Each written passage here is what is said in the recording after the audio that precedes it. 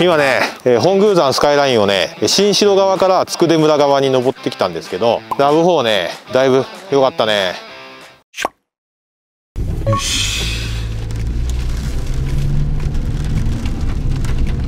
えっ、ー、とね本宮山スカイラインで今10%の上り坂。どんな感じで走れるかをやってるけど。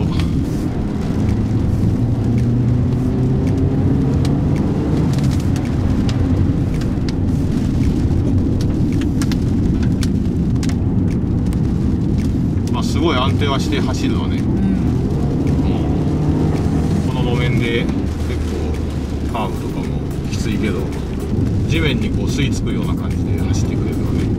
すごい遠心力が遠心力がすごいでしょ。だけどちゃんとこうコーナーから外れずに走ってるでしょ、うん、ちょっと本宮山スカイラインだけどこれあれだねなんか荒れてるね道路が整備されたような感じがしないんだけどまだされてないのかな。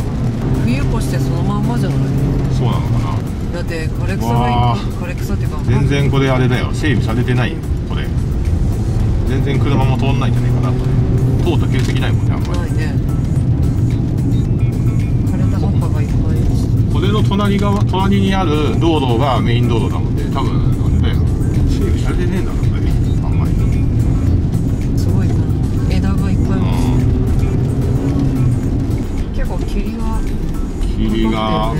ね。うん10%だもんね。10%の勾配なんだよこれね。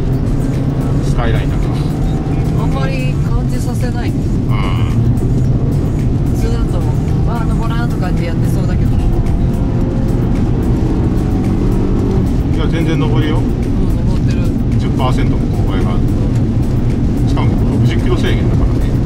だけ雨が降っててさ、うん、このラブ4はさスタッドでしたよな。滑りやすいわけよ、うん、だけど全然ちゃんと道路に食いついて走ってるからもうそこはそこですごいよね。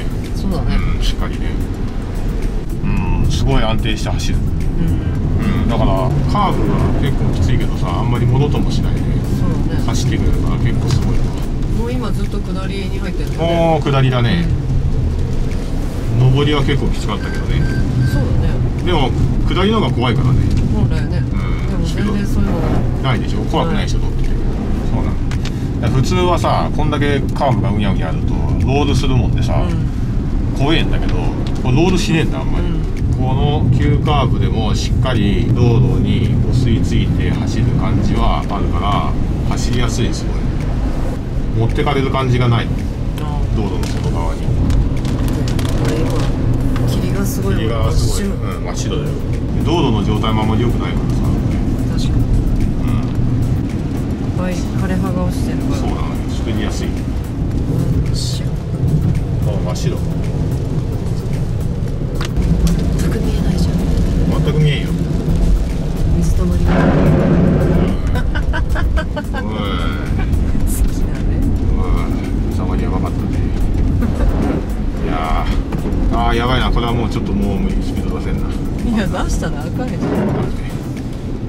まあ30キロか40キロ出すしかねもうだいぶ降りてきたでしょ。だいぶ降りてきたね。もう終わりだよスカイライン。うん。一気に晴れた。うん。山の上の方だからさ、うん、雲みたいな感じだったんだろうな。まあそうだね。でもこんなに急に変わるんだね。うん。もう完全に切り晴れてる。うん。そうみたい。ああでもそれでもねすごい気持ちよく走ってるよ。これはベルファイヤーじゃそうはいかねまあ確かに。ゆさゆさするし、うん、全然ゆさゆさしねえもん。すげえな。本当全然ゆさゆさしねえんだもんこのことは終わった終わった。もうスカイライン終わり。右方向です。はいスカイライン終わり。とりあえず道の駅に着いたら終わりだしああ快適なドライブだった。もうゆさゆさ感が全然ねえ。確かに道の駅。つくでよいしょ。よし到着。さあ道の駅つくでに着きました。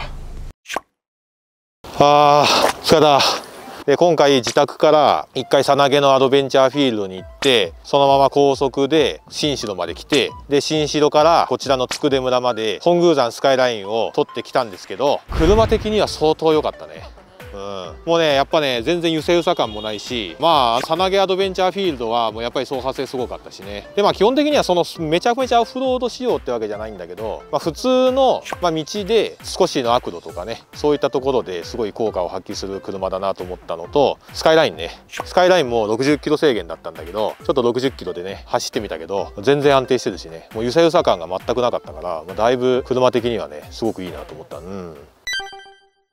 いやよかったね。まあ、うん。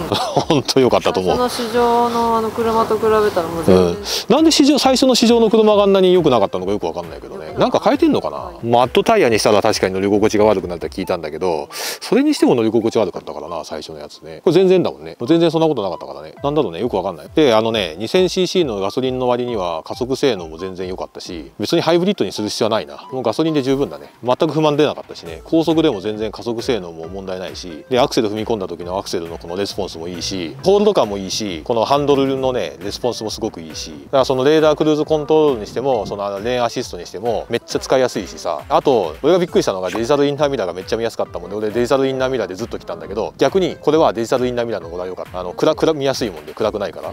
うん。ベルファイアのさ あれは。なんだあれ。解像度悪いっていうかさ距離感もつかめんしさ。全然違うよね。だからもうやっぱり全然ね改善されてんだよね多分ね。よかったよかった。うんあと気になるのがね席の。そうで座席のねここ ちょっとここが狭かった。中方のボックスがさ左足に当たっちゃってさちょっと狭いから僕の場合だと長時間運転きついなちょっとラブ4だとが高い人とかはちょっと。うんちょっときつ厳しいかもしれん。そこだけだな問題は。あとはいいけど足元が広ければ欲しかったけど足元が狭いからちょっと悩むなやっぱり。唯一の不満は足が狭い。足場が狭い。そこだけだね。うん、それ以外はもう全然良かった。何も問題ないな。うん。まあだけどいろんなこと加味してハリアーを選んだのが失敗だったかっていうとまたそれは違うかなと思うな まあハリアーはハリアーでいいかなと思うけどただハリアーの納期が長すぎるからいつ来んだよって話だよね。まあねそれはねラブ4の2倍。もうあラブ4の2倍かかるんだ。